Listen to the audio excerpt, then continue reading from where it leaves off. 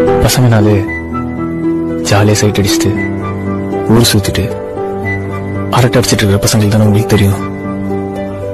ஆனா பசங்களுக்கு இன்னொரு பக்கமும் இருக்கு.